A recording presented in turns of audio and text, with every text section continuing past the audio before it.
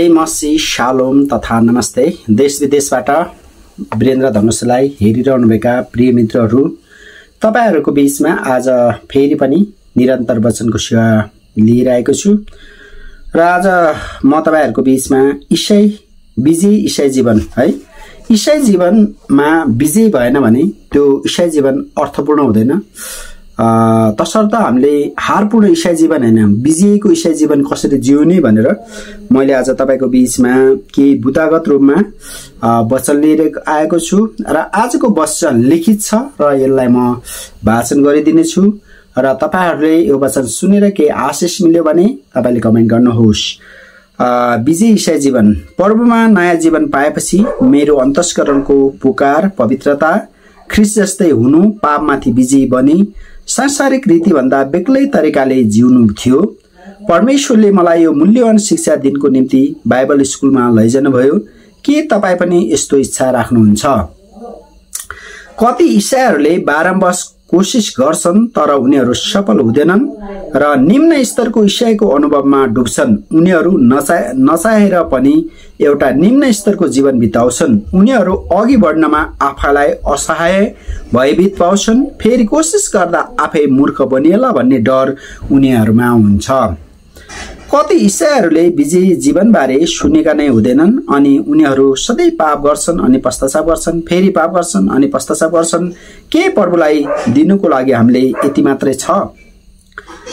एक विजय जीवनको सम्भावना। प्रत्येक विश्वासले पापलाई जितेर विजय बन्न सक्छ भन्ने शिक्षा बाइबलले दिन्छ पहिले उन्ना पाँचको चारले भन्छ किनभने परमेश्वरबाट उत्पन्न भएकोले संसारलाई विजय गर्छ र संसारमाथि विजय हुने हुने विजय चाहिँ हाम्रो विश्वास हो।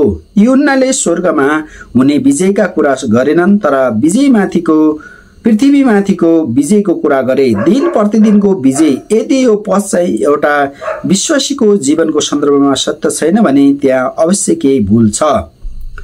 शैतानले यस ज्ञानबाट इसाईलाई अलग राख्ने भरमग्दुर कोसिस गर्छ। शैतान एउटा धर्मी व्यक्ति अथवा कमजोर इसाईको लागि चिन्तित हुँदैन तर एउटा जयवन्त जीवनको शक्तिदेखि त्यो निश्चित रूपमा डराउँछ। म अरू मानिसहरूका गएदेखि मेरो मेरो गए पनि सम्मिलित गर्न चाहन्छु कि विजय जीवन सम्भव छ। पवित्र गरिएका केही मानिसहरूका निम्ति मात्र होइन तर प्रत्येक व्यक्तिको निम्ति जसले परमेश्वरको परिवारमा जन्म लिएको छ। दुई विजयी जीवनका प्रतिज्ञाहरू। युना सातको सात अध्यायको सैतिसदेखि अडतिसले भन्छ यस यसु उभिएर यसो भन्दै कराउनु भयो त्यसको अन्तस्करणबाट जिउँदो पानीका खोलाहरू बगेर निस्किनेछन्। यो तपाईँ यो तपाईँ वा एक विश्वासी निम्ति यसुको आफ्नै प्रतिज्ञा हो। युन्ना दसको दस। म त तिमीहरूले जीवन पाऊ र त्यो प्रशस्त मात्रामा पाउ पाउन् भन्ने हेतुले आए। हामीले थोरै होइन तर प्रशस्त मात्रामा जीवन अनि विजय पाएको यसु चाहनुहुन्छ। रोमी छको चौधले भन्दछ किनकि पापले तिमीहरूमाथि राज्य गर्ने छैन। यो अति नै महत्वपूर्ण कुरा हो। दोस्रो कुरन्ती दुईको चौधले भन्छ परमेश्वरलाई धन्यवाद होस्। हामीलाई ख्रिसमा सधैँ विजयको निम्ति अनुग्रह गर्नुहुन्छ। सधैँ केही समयको लागि मात्र होइन सधैँको लागि हो। प्रभुद्वारा सधैँ हामीहरूको जित हुन्छ। पहिलो कुरन्ती दसको तेह्रमा हरेक विश्वासीको लागि हरेक परीक्षामा विजयको प्रतिज्ञा छ। रोमी आठको सैतिसले भन्छ सैतिस अनुसार भन्छ होइन यी सबै कुरामा हामीलाई प्रेम गर्नुहुनेद्वारा हामी विजयहरू भन्दा पनि पनि झन बढी छौँ। केवल विजय मात्र होइन तर आफ्ना शत्रुहरूमाथि अझ प्रशस्त विजय। गलाती पाँचको सोह्र। इसाई जीवनले शरीरको अभिलाषा पुरा गर्नु पर्दैन। तिन। विजय जीवनको सिद्धान्त। विजय जीवनको सिद्धान्त विश्वासमा अडेको छ। र विजय इसाई जीवन चाहिँ हामी विश्वासद्वारा मात्र जिउन सक्छौँ। ए यसको सिद्धान्त यो हो कि विजय जीवन परमे परमेशको एउटा वरदान हो जसलाई विश्वासद्वारा प्राप्त गर्न सकिन्छ। हामीहरूको उद्धार एउटा वरदान थियो हामीहरू यसको योग्य थिएनौँ अथवा यसलाई हामीहरूले कमाउन सक्ने थिएनौँ। विजय पनि एउटा वरदान हो हामीले आफ्नो शक्तिद्वारा यसलाई पाउन सक्दैनौँ। यसो गर्न असम्भव छ। रोमिएको सत्र तर धर्मात्मा धर्मात्मा चाहिँ विश्वासबाटै जिउने छ गलाती तिनको एघार र हिब्रू दसको अडतिस पनि हेर्नुहोस्। विश्वासीहरूले आत्मामा उद्धार पाएर नयाँ जीवन सुरु गर्दछन्। प्राय इसाहरू मूर्ख गलातीहरू चाहिँ छन् जो कामद्वारा शरीरको रीति अनुसार जीवन बिताउने कोसिस गर्छन्। विजय हाम्रो उद्धारकर्ताको एउटा काम हो। यो यो हाम्रो काम पटक्कै होइन। ती हामीहरूको शक्ति कमजोरीमा नै सिद्ध भएको हुन्छ।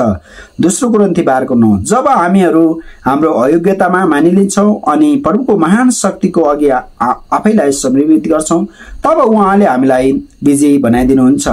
एउटा मतवालाको हृदय परिवर्तन हुन्छ अनि उसले तत्कालै रक्सीमाथि विजय प्राप्त गर्छ। यो नै विजय जीवन हो। इज्जतदार मानिसले आफैमाथि अनि ससना पापमाथि विजय प्राप्त गर्न आवश्यक छ। विश्वासले केही पनि गर्दैन तर परमेश्वरलाई सबै कुरा गर्न गर्न दिन्छ। विजय जीवनको निम्ति तपाईँको हृदयमा एउटा योग्यता हुनु आवश्यक छ। त्यो हो तपाईँको टुक्रिएको स्वभाव धेरै दुर्बलता। डाक्टर सिजी ट्रम्बुल निश्चय नै हाम्रो योग्य बन्न सक्छौँ। विजयको रहस्य ख्रिसमा अन्तर्निहित हुन्छ। विजय विश्वासमा बास गरेको हुन्छ। कोसिसमा होइन। चार विजय जीवनको रहस्य समानता। म विश्वास गर्दछु विजय जीवनको रहस्य ख्रिसित हाम्रो समानता हो। रोमी छको छ अध्यायको चारदेखि बाइसलाई एक विजय जीवनको अध्यायको रूपमा स्वीकारिएको छ। पर्व यसुको क्रुसले दुईटा महत्वपूर्ण सत्यहरूको शिक्षा दिएको छ। प्रतिस्थापन र समानता। पापीहरूलाई हामी साटोमा भएको मृत्युबारे सिकाउँछौँ। तिनीहरूलाई भन्छौँ हेर अनि बाँच। सन्तहरूलाई भन्छौँ हेर अनि मर।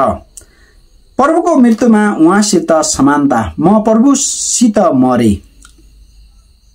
रोमी छको पाँचले भन्छ हामी उहाँको मृत्युको समानतामा उहाँसित सम्मिलित छौँ। रोमी छको छ हाम्रो पुरानो मनुष्य त उहाँको सात क्रुसमा टाँगिएको छ। गन्त गलाती दुईको बाइस म प्रभुसँग प्रभुसँग क्रुसमा टाँगेको छु पूर्ण समानता। मृत्युले मानिसलाई सधैँको लागि पापको शक्ति र त्यसको प्रभुत्वबाट छुटकारा दिन्छ। रोमी छको साथ ख्रिसलाई गाडीकोमा उहाँसित समानता। म उहाँसँग गाडी रोमी छको साथ हामी उहाँको साथ गाडी हौ मृतकलाई गाडी दिनुपर्छ। तिन ख्रिसको बौरी उठाइमा उहाँसित समानता। म ख्रिससित बौरी उठे रोमी छको पाँच हामी उहाँको बौरी उठाएको समानतामा सम्मिलित बन्छौँ। क्रिसको वर्तमान विजय जीवनसँग समानता रोमी छको चार। त्यसरी नै हामी पनि नयाँ जीवनको सालमा हिँडौँ। रोमी छको छ। हामी फेरि पापको बन्धनमा बन्धनमा नहौँ। रोमी छको आठ। उहाँसँगै जिउनेछौँ भन्ने भन्ने हामी विश्वास गर्दछौँ। रोमी छको दस। जुन जीवनमा अब उहाँ जिउनुहुन्छ परमेश्वरको लेखी उहाँ जिउनुहुन्छ। आफ्नो जीवनद्वारा केवल उहाँको निम्ति जीवन बिताउनु। यसमा लुकेको एउटा रहस्य के हो भने त्यस जीवनको पर्व र मालिक बन्न सकौँ भनेर नै क्रिस प्रत्येक विश्वासीको हृदय अनि जीवनमा बास गर्नुहुन्छ। कलसिएको सत्ताइस क्रिस जो महिमाको आशा आशा हुनुहुन्छ तपाईँमा बास गर्नुहुन्छ। म मरे अनि जि जिउँदो क्रिस मेरो समर्पित जीवनमा बास गर्नुहुन्छ अनि मेरो निम्ति सधैँ जीवन प्राप्त गरिरहनुहुन्छ। विजय जीवनको आवश्यकता समर्पण। म ख्रिसको म ख्रिससित मेरो पापको निम्ति मरेको हुँ भन्ने कुरा साँचो हो भन्ने अब मैले गर्नुपर्ने एउटै कुरा छ आफूलाई समर्पित गर्नु। रोमी छको तेह्र अनुसार आफ्ना इन्द्रियहरू अधार्मिकताको हतियार बनाएर पापलाई समर्पण नगर। तिमीहरू आफूलाई मरेकाहरूबाट जीवित भए जस्तै गरी परमेश्वरमा चढाएर आफ्ना इन्द्रियहरू चाहिँ धार्मिकताका हतियार जस्तै गरी परमेश्वरमा समर्पण गर। आफ्नो नयाँ स्थितिलाई विश्वासद्वारा स्वीकार गर्नुहोस्। मरेकाहरूबाट बौरी उठेको जानेर अब तपाईँ बौरी उठेको स्थानमा हुनुहुन्छ। तपाईँ क्रुसको विजयतिर हुनुहुन्छ। तपाईँ माथि पाप र संसारको अधिकार संसारको अधिकार छैन। पापसँग झगडा नगर्नुहोस् र तपाईँ लड्न सक्नुहुन्न। यसको साटोमा तपाईँ एक शक्तिशाली सामर्थ्यको अघि समर्पित हुनुहोस्। बौरी उठ्नु भएको ख्रिसको सामर्थ्यमा। छ विजय जीवनको अघि एक रोजै जित जित वा हार। एक इसाई भएर पनि मेरो हृदयभित्र आफ्नो स्वतन्त्र इच्छाहरू अझै छन्। यदि मैले विजयलाई लिए चुने भने म निश्चित हुन्छु कि यो विजय प्रभुबाट इनामको रूपमा मैले पाएको छु। यदि मैले यो विजयको उपहारलाई अस्वीकार गरेँ भने म सधैँ हारको इसाई जीवन बिताइरहन्छु। रोमी छको सोलोले भन्छ के तिमीहरूलाई थाहा छैन? जुन मालिकको आज्ञा पालनको निम्ति दास जस्तै भई तिमीहरू आफैलाई समर्पण गर्छौ भने उसैको दास तिमीहरू होइनौ। चाहे मृत्यु मृत्युको निम्ति पापको अथवा धर्मको निम्ति आज्ञा पालनको रोजै मेरो हो धार्मिकता अथवा पाप। रोमी छको अठारले भन्छ अनि पापबाट स्वतन्त्र रोज्ने स्वतन्त्र हामीलाई छ। पद उन्नाइसबाट चेताउने यदि मैले अशुद्धतालाई रोजेँ भने यसले मलाई एउटा पछि अर्को गरी पापतिर अग्रसर गराउँदै लैजान्छ। पद बाइसबाट सल्लाह पापबाट स्वतन्त्र स्वतन्त्र छौँ भने तिमी यस यसुका दास बनेका छौ। यसकारण हामी आफैलाई अथवा हाम्रो इन्द्रियहरूलाई कसको अघि समर्पित गर्छौँ? यो रोज्ने काम हाम्रो हो।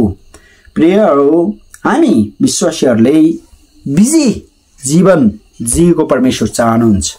हाम्रो परमेश्वरले हारपूर्ण इसाई जीवन जियोस् भनेर उहाँले चाहनु भएको छैन प्रियहरू। र हामी हाम्रो कोसिसले हाम्रो सहायताले होइन हाम्रो आफ्नो योग्यता र क्षमताले शक्ति र सामर्थ्यले होइन तर ख्रिसको सहायताले मात्र हरेक कुरामा विजय हुन्छौँ हरेक कुरामा हामीले सफलता हासिल गर्छौँ। र कोसिस गरेर पनि असफल हुन्छौँ भने हामीले के गर्नुहुन्छ? याद राख्नुहोस् पहिलो एकको नौ। अहिले पनि सत्य छ उहाँ असफल हुनुभएको छैन र तपाईँको पतनको पतलले ख्रिसलाई दुर्बल बनाउँदैन। उहाँले तपाईँलाई क्षमा दिनुहुन्छ अनि त्यस्तै अर्को पतनको विरुद्ध बल प्राप्त गर्नका निम्ति उहाँले यस सफलताको प्रयोग गर्नुहुन्छ। भावी विजयको निम्ति विगत विजयहरूमा भर नपर्नुहोस् सदा ख्रिसमा मात्र भरोसा गरेर राख्नुहोस्। प्रतिज्ञाहरूलाई कण्ठ मुखस्त गर्नुहोस्। शैतानको अघि यसलाई प्रस्तुत गर्नुहोस् प्रयोग गर्नुहोस् प्रभुसँग निरन्तर रहनुहोस्।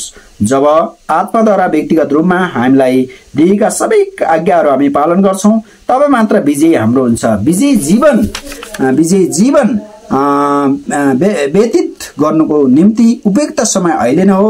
आजदेखि नै सुरु गर्नुहोस्। आउनुहोस् यो सत्यलाई हामी सिद्धान्तको रूपमा मात्र थाहा नगरौँ तर आफ्नो जीवनमा प्रयोग गर्दै जाउँ। हर्सन टेलरले यो वाक्यलाई विजय जीवनको आदर्शिक रूपमा प्रयोग गरे। विश्वास पाउनका निम्ति सङ्घर्ष गर्नु होइन तर विश्वासयोग्य पर्वमा आफ्नो दृष्ट राख्नु नै हाम्रो निम्ति पर्याप्त छ। मेरो अभिलाषा अब म जीवित छैन तर क्रिस्ममा जीवित हुनुहुन्छ। गलाती दुईको बिस। प्रियहरू तपाईँ र मैले यी दिनहरूमा कस्तो किसिमको जीवन जिएका छौँ? हारपूर्ण इसाई जीवन जिएका छौँ अर्थात् विजय इसाई जीवन जिएका छौँ। विजय इसाई जीवन जिएको परमेश्वर चाहनुहुन्छ। हारपूर्ण इसाई जीवन जिएको त शैतानले मात्र चाहन्छ प्रियहरू। तसर्थ आजको वचन अनुसार हामी है हाम्रो जीवनमा पर परमेश्वरको विश्वासले राज्य गरेको होस्। परमेश्वरको धार्मिकताले राज्य गरेको होस्। परमेश्वरको सत्यताले राज्य गरेको होस् र परमेश्वरले महान कार्य गर्नुभएको होस् भनेर हामीले निरन्तर प्रार्थना गर्ने निरन्तर यो वचनको दावी गरिरहनुपर्छ। र हामी है हाम्रो जीवनमा पापले राज्य गरेको छ भने हामीले प्रार्थना गर्नुपर्छ। प्रभु मलाई सहायता गर्नुहोस्। म मेरो जीवनमा पापले राज्य गरेको साधेन मलाई क्षमा गर्नुहोस् भनेर पहिलो नयाँको नपदको दावी गरेर आफ्ना पाप त्यागेर प्रभुतिर फर्काउँ प्रियहरू। दुष्ट इतिहास सातको सदले भन्छ यदि मेरो नाउँ दिएको पर्जाले नम्र भएर प्रार्थना गर्छ आफ्नो दुष्ट चालचलन छोडेर मतिर फर्किन्छ भने म उसलाई निको पार्नेछु उसको देशलाई पनि निको पार्नेछु भनेको छ। र तसर्थ प्रियहरू अहिले हाम्रो देशमा धेरै इसाईहरूको हारपूर्ण जीवनले गर्दा है हाम्रो जीवन हाम्रो हाम्रो जीवनमा पनि हार छ। र देशले पनि आशिष पाएको छैन। र यदि हामी प्रत्येक विश्वासीहरू विजय इसाई जीवन जिएछौँ भने हाम्रो देश नेपालले पनि आशिष पाउनेछ। प्रियहरू आजको यो वचन बाँड्ने स्टाइल कस्तो मन पर्यो? मैले विभिन्न वचन विभिन्न प्रकारले बाँड्ने गर्दछु र मैले एउटै खाले होइन किनकि एउटै खाले वचन बाँड्यो भने एउटै खाले हुन्छ। तर विभिन्न प्रकारले वचन बाँड्यो भने विभिन्न प्रकारले हुने भएको कारण मैले आज लिखित रूपमा तयार पारेर बाँडे तपाईँलाई कस्तो लाग्यो? के आशिष मिल्यो भने तपाईँले सेयर गर्नुहोस्। प्रभुले आशिष दिउन्। धेरै धन्यवाद। जय मसी